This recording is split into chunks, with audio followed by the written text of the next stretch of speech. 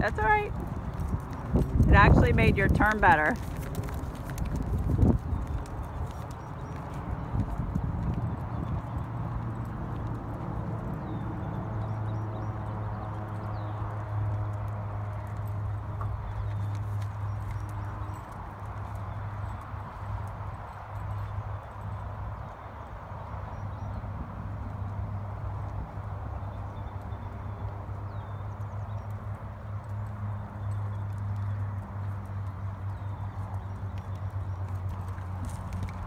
All right, just do a little circle.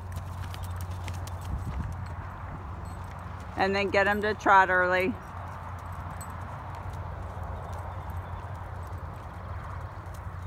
And when you land, ask him to halt just by using your seat because next time we'll see if he'll halt into the trot. That's it.